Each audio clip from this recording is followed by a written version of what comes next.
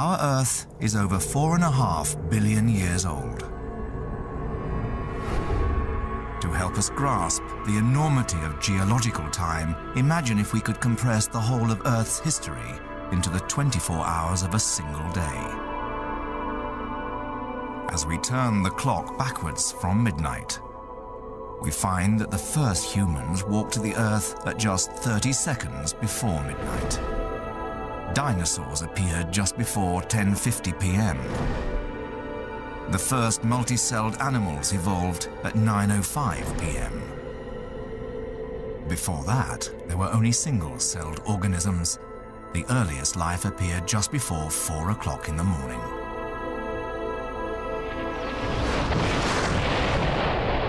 This film is about the very first hour of the day when a series of extraordinary events transformed a violent and hostile planet into the world we know.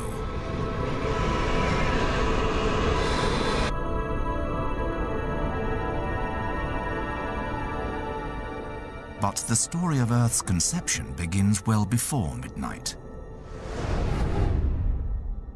Originally, our rocky planet was nothing but a cloud of dust floating in space. Dust that was created from huge, ancient stars when they reached the end of their lives and exploded.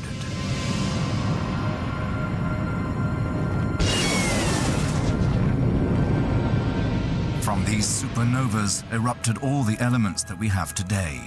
Iron, carbon, even gold and radioactive elements like uranium.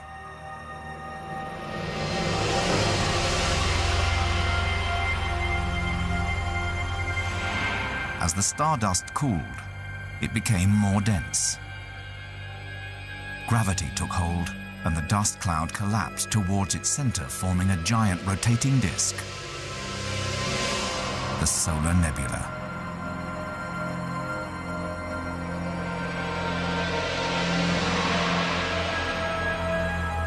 In the center, a star. Our sun was born.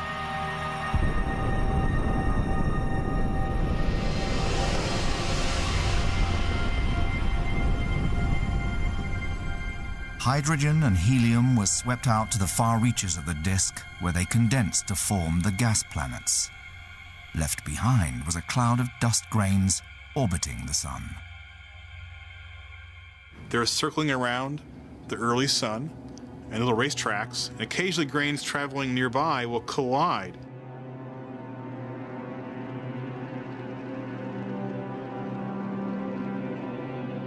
Something like this happens in your house. If you look under your bed, you find that little bits of dust are clutching together into little big, large dust balls. And something like that must be what happened in the solar system too.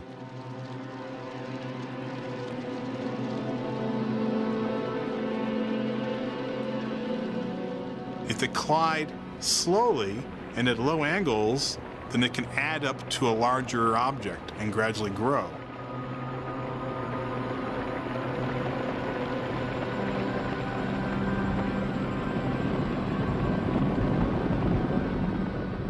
As the dust grew into rocks, the force of the impacts generated enormous heat. Sometimes the colliding rocks simply destroyed each other. If they collide head on or at a higher angle or at higher velocities, then they'll actually break apart um, like shooting a gun at a wall.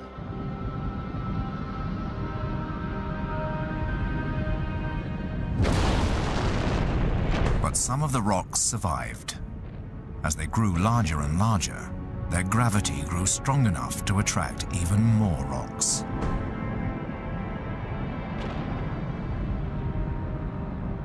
After 10,000 years, these so-called planetesimals grew so large that they became spheres of rock 10 miles across.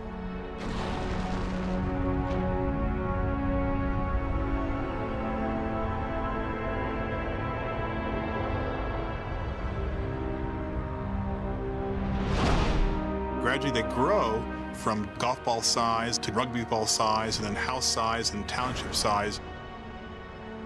And then one or two of these objects would get large faster than anything else and become the big boys in the block.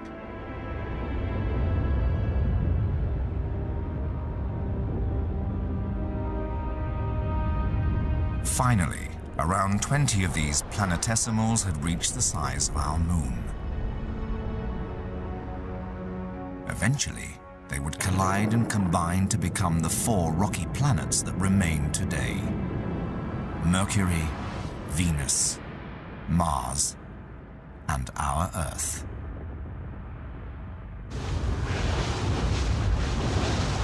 It was midnight, and the story of our newborn planet had begun.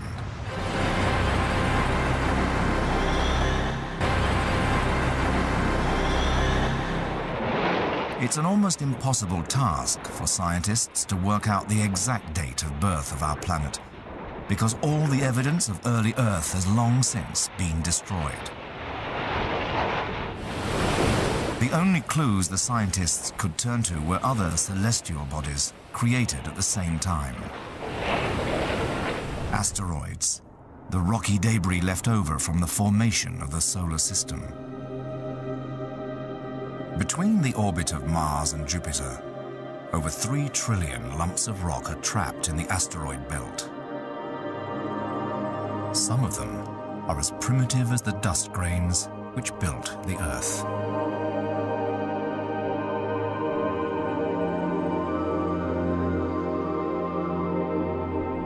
Occasionally, collisions knock the asteroids off course. And every year, 40,000 tons of asteroids are ejected from their orbit and fall to Earth as meteorites. Some weigh as much as 200 tons. In Science News, a meteorite that lit up the skies over Canada is now shining a light on the distant past. A fireball streaked across the sky over Whitehorse and the southern Yukon early Tuesday morning. Residents there were treated to a spectacular blazing meteor that was so large it left this trailing dust cloud. A local pilot was the first to spot this meteorite in Canada. Debris from the exploding fireball had landed on Tagish Lake, which in January 2000 was completely iced over. The pilot collected a few of the fragments from the ice. Realizing he'd made an important find, he sent a small piece to NASA.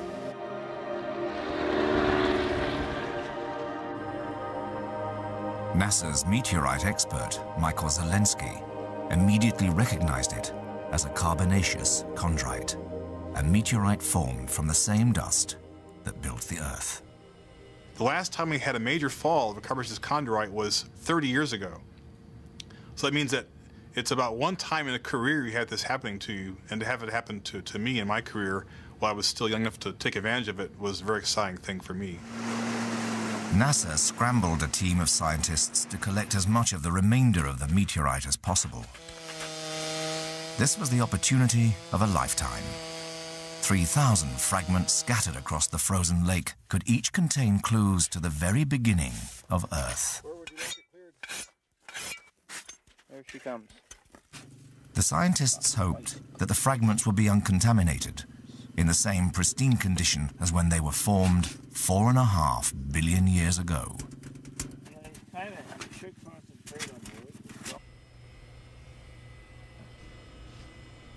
If this meteorite was as primitive as hoped, it would reveal the exact chemistry of the dust grains that built the newborn Earth.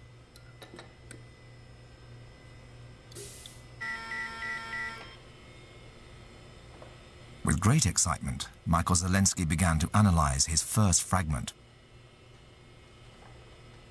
This Picker meteorite is, is really special. In the first place, it has the highest carbon content of any meteorite and the highest amount of these preserved interstellar stardust grains of any meteorite. It has a very high water content as well. Initial measurements suggest that the Tagish Lake meteorite is more like the earliest solar system than any other meteorite ever recovered. It's dull, polygonal fractures, oxidation halo. Already it's providing a chemical fingerprint of early Earth, but researchers will have to spend decades teasing out more of its secrets. Because these fragments were formed at the same time as the planets, they can also be used to accurately date the creation of the Earth. By using radioactive dating, Michael Zolensky and his colleagues have been able to calculate that the Earth's date of birth was 4.55 billion years ago. If you date meteorites, uh, what you find is that uh, almost all meteorites have the same age, about 4.55 billion years old. They're all the same age. It's pretty monotonous. Within a couple of tens of millions of years to hundreds of millions of years, they all have exactly the same age. And so what we do is take the oldest of these ages and use that as the initial age of the solar system.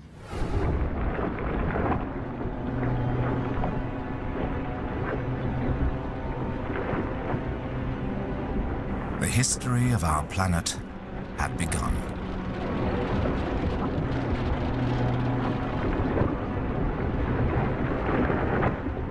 On our 24-hour day, the clock was ticking towards eight minutes past midnight, and the Earth was about to experience its first major catastrophe. Radioactive elements trapped when the planet was formed were heating it from inside. At the same time, Earth's gravity was pulling in huge quantities of debris from space. Bombardment that generated excessive amounts of heat on the surface. The combined effect was catastrophic. When the temperature reached 1200 degrees Celsius, the iron began to melt and sink. Do you think the Earth at some point was totally molten, a big droplet of melt just floating in space? When you have a totally molten object like this, the heaviest elements and that includes things like iron, uh, would sink to the center of this droplet, and the lightest elements, things rich in, in carbon and water, for instance, or light elements, would float to the top and float there like, like algae on a lake. This gigantic migration of the elements is known as the iron catastrophe.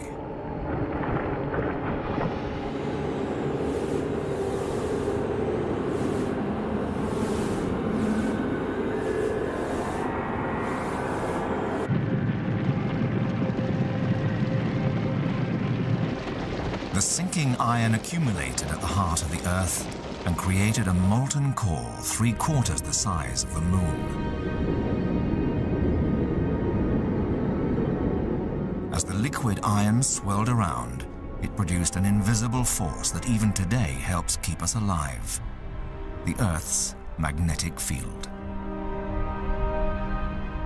Convection currents inside the liquid core behaved like a dynamo and generated electric currents. These transformed our planet into a giant magnet with north and south magnetic poles.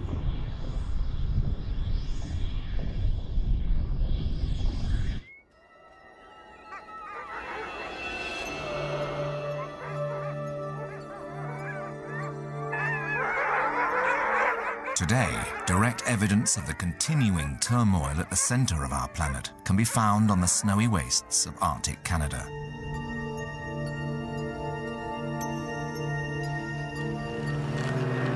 Every year for the last 30 years, Larry Newitt from the Canadian Geological Survey has set off in search of the magnetic North Pole. He spends weeks at a time on the ice, hundreds of miles from civilization, and in temperatures as low as minus 20 degrees Celsius. Navigators around the world rely on Larry's work because he charts the exact position of the magnetic pole.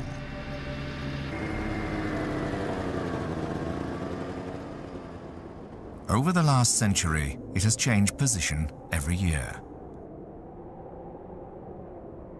Present, it lies 125 miles off the Canadian coast. The geographic North Pole is in a fixed position, but the magnetic North Pole is always on the move. Over much of uh, the past uh, 100 years, it's been around 10 kilometers per year. But since about 1970, it started to accelerate, and now it's moving along at about 40 uh, kilometers per year. If this keeps up, it'll reach uh, Siberia in about another 40 or 50 years. But of course, that's a rather dangerous extrapolation. We don't really know where it's going to go. The constant movement of the magnetic pole proves that the convection currents inside the liquid iron core are shifting all the time. Let's get going. To identify the latest position of the pole, Larry has to measure the strength and direction of the magnetic field at eight different sites. So I'm going to do four readings of declination and four readings of inclination and one or two readings of total intensity. 89, 13.0. Since we don't know where the pole is, we can't just go there and take a reading. So we surround it and then I uh, determine its location by a process of, uh, well, what amounts to triangulation. 2, 6, 8, 35.0. Once he's found the location of the pole, he can pinpoint its exact position by using an antique dip circle. It's like a compass that points vertically instead of horizontally. You see the needle in there? It's pointing straight up and down, and that's how we define the magnetic pole. The place on the Earth's surface where the magnetic field is uh, directed vertically downward into the Earth. Without the liquid iron core, the early atmosphere would have been stripped away and life could never have evolved on our planet. That's because space is lethal. It's full of highly dangerous solar particles that can be 10 times more deadly than the radiation from a nuclear explosion. These particles originate from the sun when it spews out massive solar flares. A devastating solar wind streams towards the Earth at 250 miles a second. That's a million miles an hour. If it ever reached the surface of our planet, it would strip away the atmosphere in a few thousand years. But the Earth's magnetic field creates a protective shield and deflects the solar particles. Without the molten core, today our planet would be a sterile, rocky sphere with little or no atmosphere. The tragic fate that befell our neighboring planet Mars. Four billion years ago, the red planet also had a liquid iron core and a magnetic field like our own. It built up an atmosphere and may well have supported life. But Mars is smaller than the Earth, so it cooled rapidly and its iron core became completely solid. The planet lost its magnetic shield and today its atmosphere has been scoured away by the solar wind. The surface of Mars is now a barren desert, seared by solar radiation. The time had reached 16 minutes past midnight. The iron catastrophe was over, leaving the rocks at the surface depleted in iron.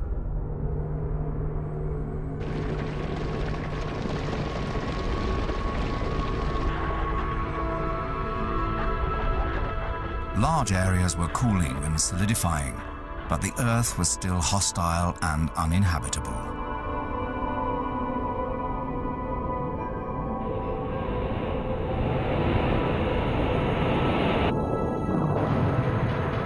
Incessant volcanic eruptions poured hot gases into the thick, turbulent atmosphere.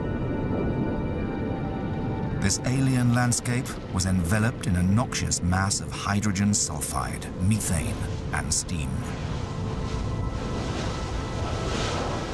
Humans could not have survived here. There was no oxygen to breathe and no ozone layer to block the lethal ultraviolet radiation. The scene was set for the next trauma in the planet's early history, an event so catastrophic that it nearly destroyed the Earth, but created the Moon.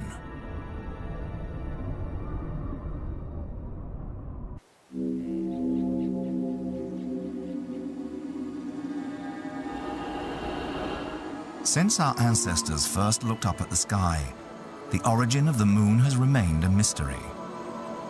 Then, in the 1970s, planetary scientist Bill Hartmann proposed one of the most radical scientific theories of our time. I'm always looking at the moon and thinking about its phases. And uh, when I was a little kid, I had a telescope. I used to be out there drawing craters on the moon and was very excited that I could even see these craters and mountains and so on. So it's always had a special interest for me.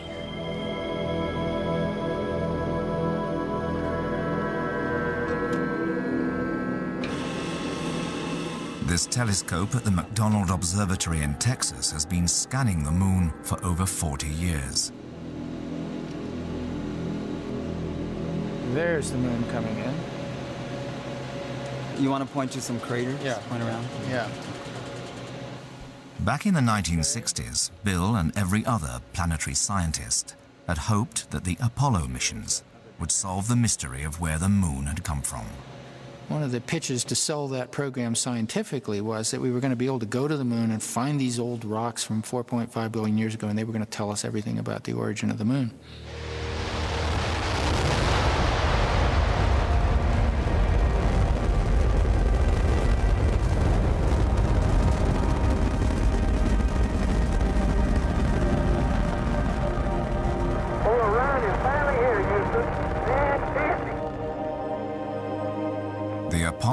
Astronauts were instructed to collect rock samples from the moon's ancient highlands. Look at the size of that biggie. it is a biggie, isn't it? This, this one right here? That's it. You got it right there. After the rocks were returned to Earth, scientists calculated their age using radioactive dating. The results were astonishing. The moon was younger than the estimated age of the Earth. And there were more revelations. The biggest single surprise was that the materials on the moon had exactly the same chemistry as the Earth and different from any samples that we have anywhere else in the solar system. So that pretty well forced the idea that the moon has to form from the same basic material as the Earth. There was another puzzling fact for Bill to consider there was very little iron in the lunar rocks. In a flash of inspiration, Bill came up with his highly controversial theory that the moon had been blasted from the outer layers of the Earth. We came up with this very simple idea that maybe as the Earth was forming, at our distance from the Sun, somewhere nearby, made out of the same material, was a second largest body, which got pretty big before it finally plowed into the Earth. Bill's theory was revolutionary.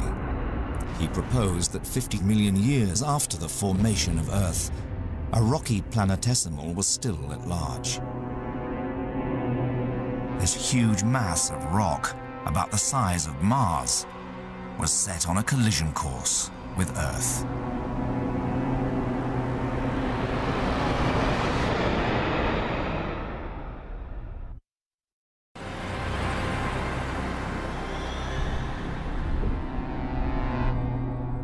Our 24-hour clock, the time was approaching 16 minutes past midnight, but there was no moon in the sky. We may never know the exact chain of events that created our moon, but one scientist, Bill Hartmann, has suggested that it was formed when a rogue planetesimal thousands of miles across struck the young Earth.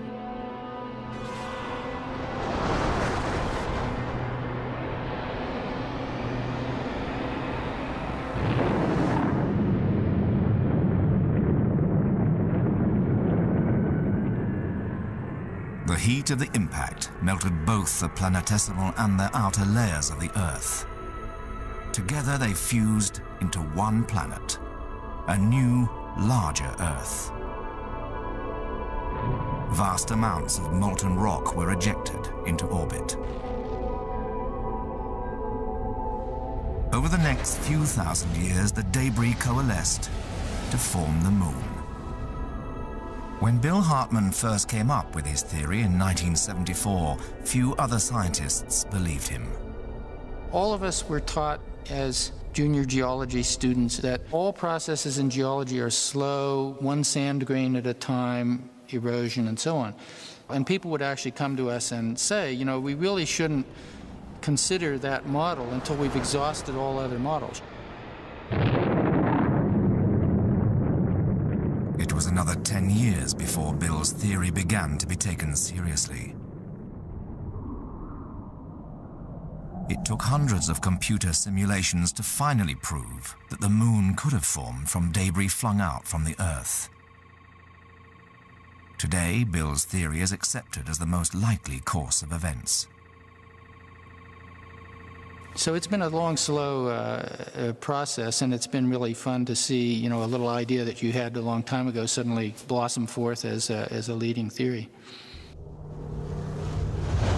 It was 16 minutes past midnight, and the moon had arrived.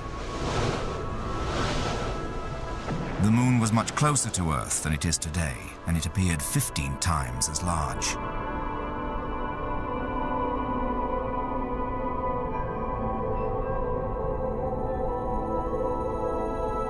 As a result of the massive collision, the Earth was spinning five times faster than it does today.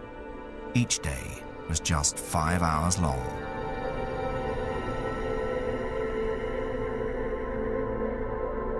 The proximity of the moon created an enormous gravitational pull on the surface of the Earth.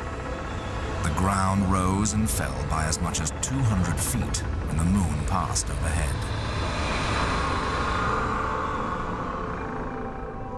The drag on the Earth's crust slowed our planet's speed of rotation and forced the Moon to orbit further and further away. It has been moving outwards ever since. The idea of being able to measure the movement of the moon away from the Earth has always been a challenge. And so when the astronauts went to the moon, one of the things they did, they carried out this big device, which was a a reflector, a retroreflector that would beam a laser beam back in the direction that it came.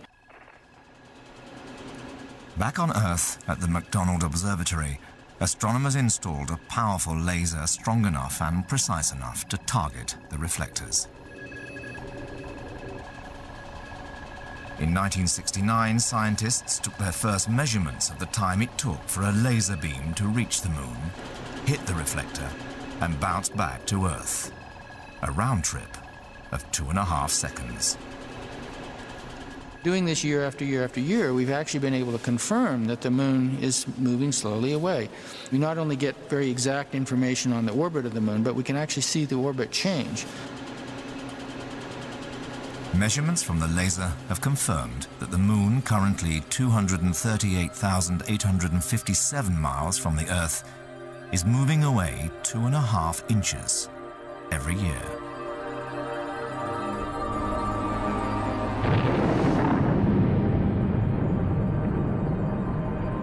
The immense collision that formed the moon also caused our planet's axis to tilt over at an angle of 23 degrees. Without the stabilizing influence of the moon, the Earth would wobble dramatically about its axis, the planet would experience wild fluctuations of weather, making it impossible for anything but the most primitive life forms to survive.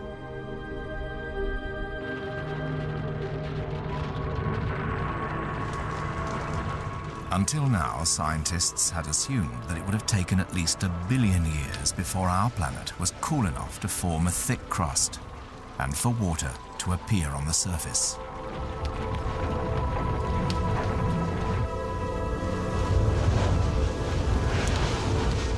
But startling new evidence from Australia has caused them to rethink that timescale.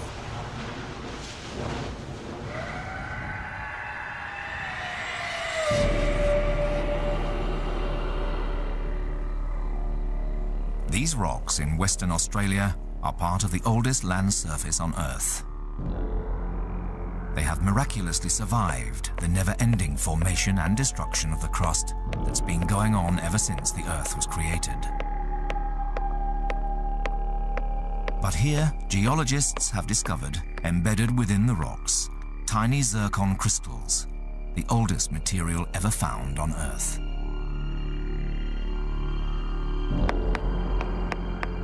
When geologist Simon Wilde extracted the crystals, he discovered something extraordinary about the development of early Earth.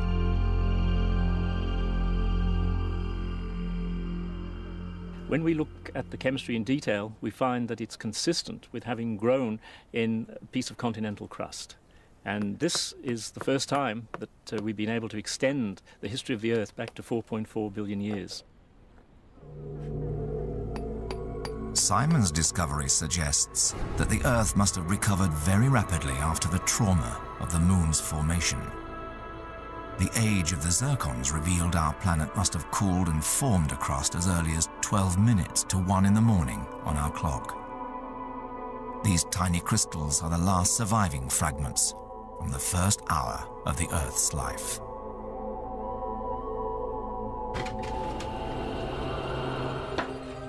But the zircons held a far greater secret. American geologist Stephen Mojzsis carried out his own unique chemical exploration of the tiny crystals. He discovered an even more startling fact about the conditions that prevailed on early Earth. The Earth's crust can be thought of as a rug in an old house. Over hundreds of years and people walking over this rug, they would wear the rug away until there were a few threads left behind.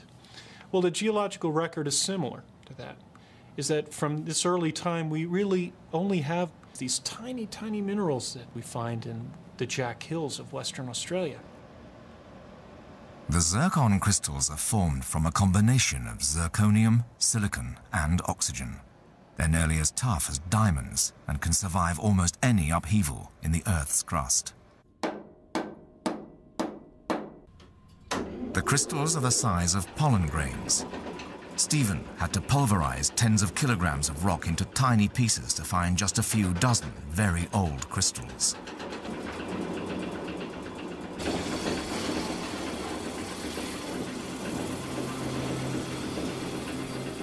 He placed the oldest zircons inside an ion microprobe to analyze the chemical composition of the oxygen atoms inside the crystals.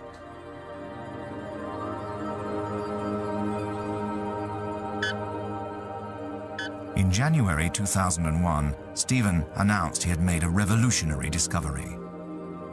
The oldest zircon crystals contained a type of oxygen called oxygen 18.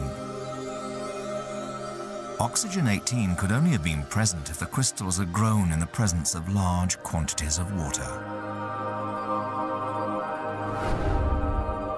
Geologists had previously believed that large amounts of water first appeared around one billion years after the formation of our planet.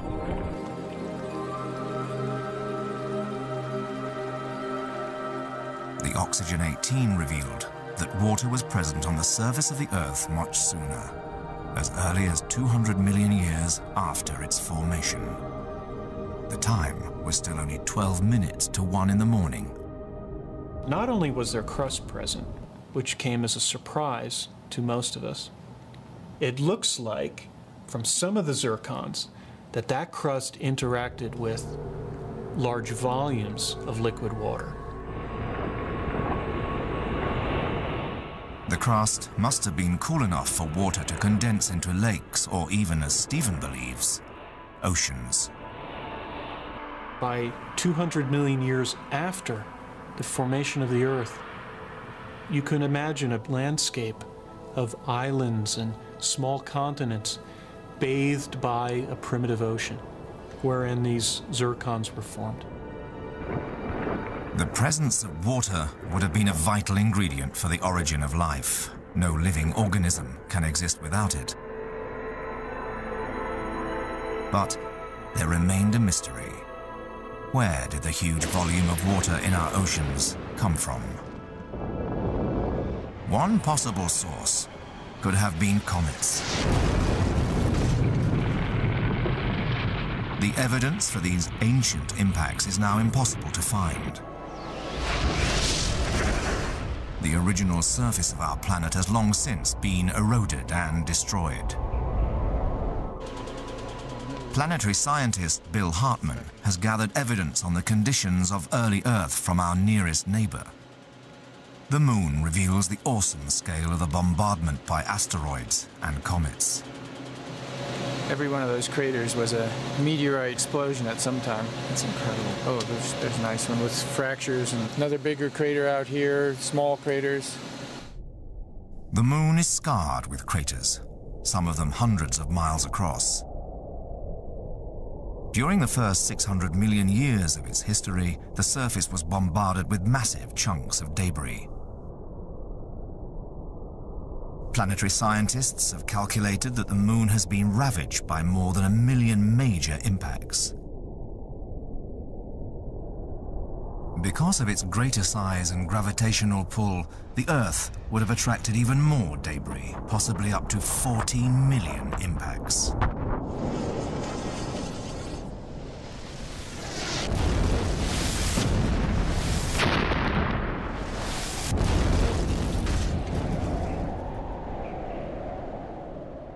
We all hear about the impact 65 million years ago that wiped out the dinosaurs. And you're getting that kind of impact something like once a month on the early Earth. But this rain of debris left over from the formation of the solar system continues for several hundred million years.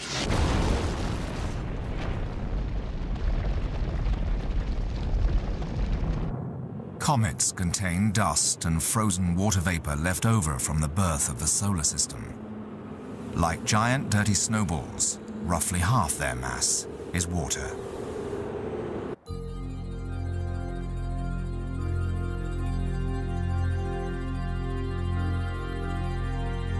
One of NASA's top comet experts, Michael Mumma, believes that comets could be the source of the water in our oceans. One possibility is that Earth's water was delivered by the impact of bodies from beyond the Earth. These would naturally be the comets, which are rich in water.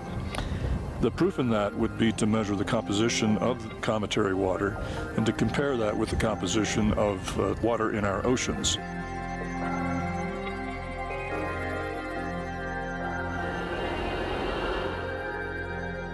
Over the past 20 years, just four comets have passed close enough for scientists to study in detail, including Hale-Bopp in 1997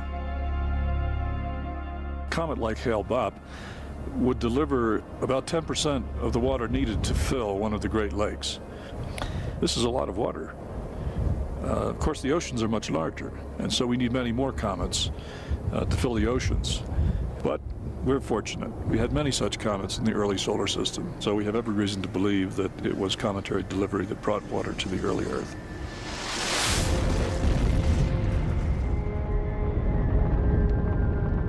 Theory suggests the force of the impacts evaporated the comet's ice, creating dense clouds over vast areas of the Earth.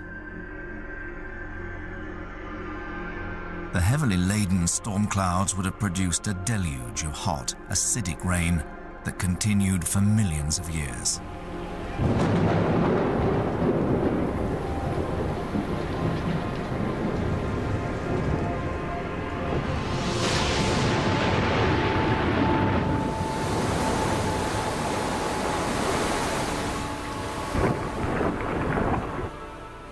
First, the water would have formed lakes and rivers, until eventually there was enough to almost completely cover the globe.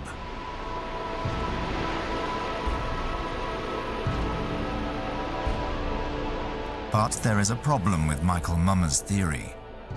Earth's oceans contain a mixture of normal water, H2O, and a small amount of more exotic water, HDO, known as heavy water. In the comets analyzed so far, the proportions of each kind of water don't match the composition of our oceans.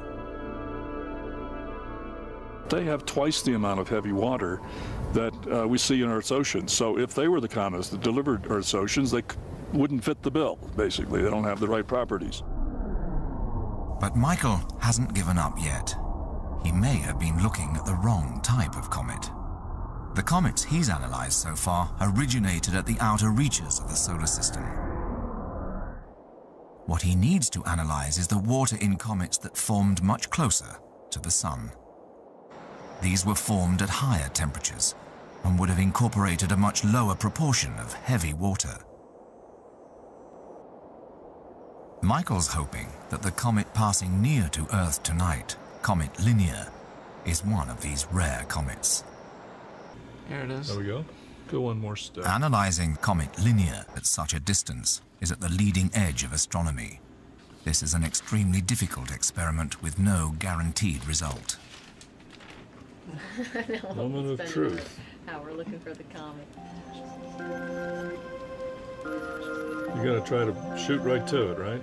Yeah, I'll try. All right. As soon as he has acquired it, we should see an image of it on this screen. Yep, there it is. There it is. All right. Yes, sir. Right there. You can see the elongated material flowing outward from the nucleus. Joel, that looks excellent.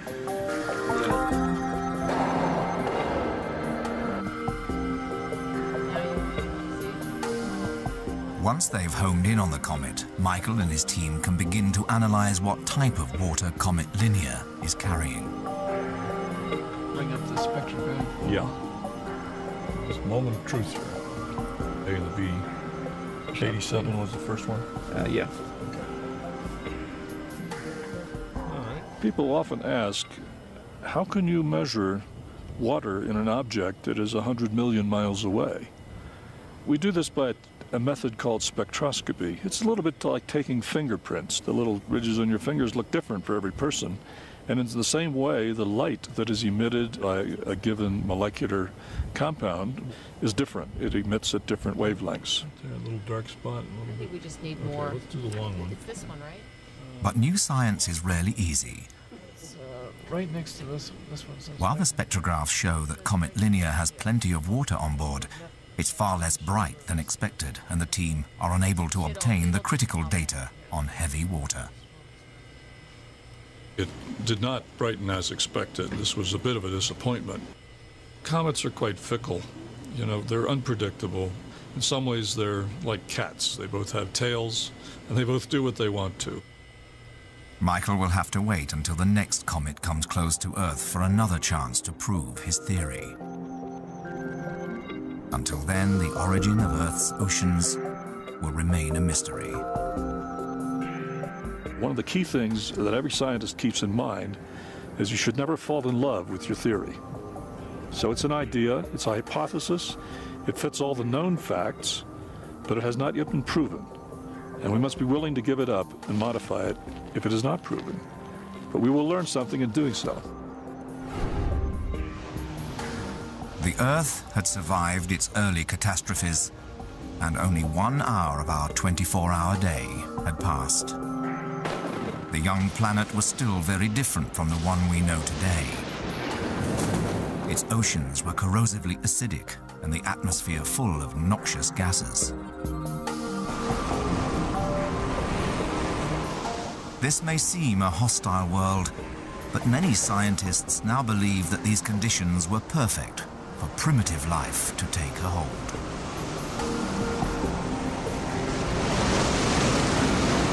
Very little is left behind from the Earth's earliest time period, but what is left behind is revealed to us a planet much more complicated than we ever thought, with different rock types, liquid water present, and the kind of planet that we might expect life to emerge on. The scene was set for the next great chapter in Earth's history the origin of life. Do we know if life was around 4.3 billion years ago? Well, who can say? We can say, however, that the template, the ground underfoot, was there. Could life have been present? Why not? In the next program, we will reveal how scientists have discovered that by three minutes to four in the morning, tiny life forms were already thriving in this hellish world. And it was this primitive life that transformed an alien planet into our own unique Earth, where humans could evolve and survive.